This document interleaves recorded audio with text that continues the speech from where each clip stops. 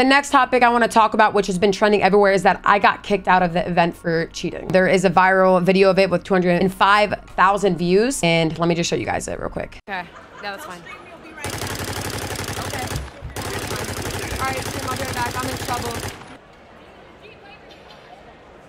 I got permission. She just got yelled at for Activision because um, they just found some hacks on her account. Sorry to break it to you guys. What's really funny about this, and a lot of people posted that they only showed the beginning of me leaving. They didn't actually show the entire thing.